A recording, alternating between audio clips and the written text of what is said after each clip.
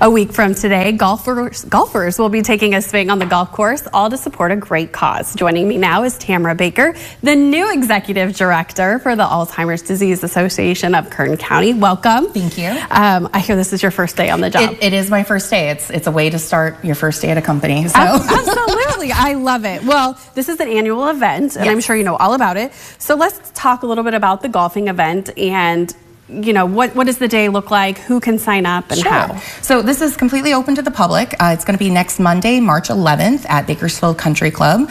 Um, it's a great event where we're going to have contests, raffles, drinks, eat, eating, everything. So it's going to be a really great way, I think, to kind of get out in the community, but also supporting a very worthwhile cause, which is our organization, the Alzheimer's Disease Association of Kern County. Right, and this is a fundraiser. So Correct. can you tell me a little bit about where all the money raised, yes. what it goes to help so support? 100% of the proceeds go towards benefiting um, people suffering with Alzheimer's here in Kern County.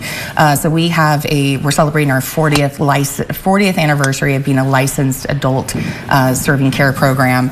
Um, we offer art activities. Um, we offer uh, dancing, music, all kinds of different things. And then we also have a support group for caregivers so that they too can kind of get some um, time that they need in the midst of taking care of those with Alzheimer's. Right, right, because it is a full-time job for a lot of people, yes. and it's it's hard to take care of someone with Alzheimer's. Very much. It's a very draining job, um, and you know it's definitely something that I don't think a lot of people get recognition for.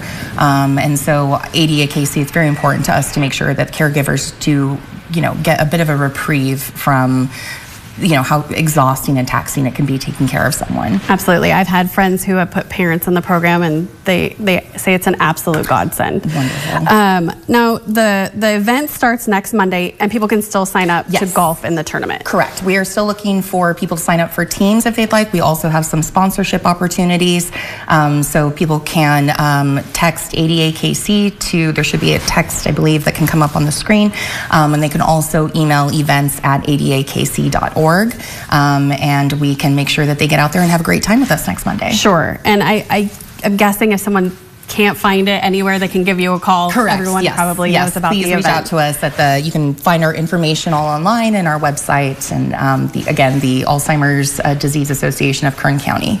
Um, outstanding. Thank you so much for Thank joining you. us here on your first day. Thank you for having me. I appreciate it.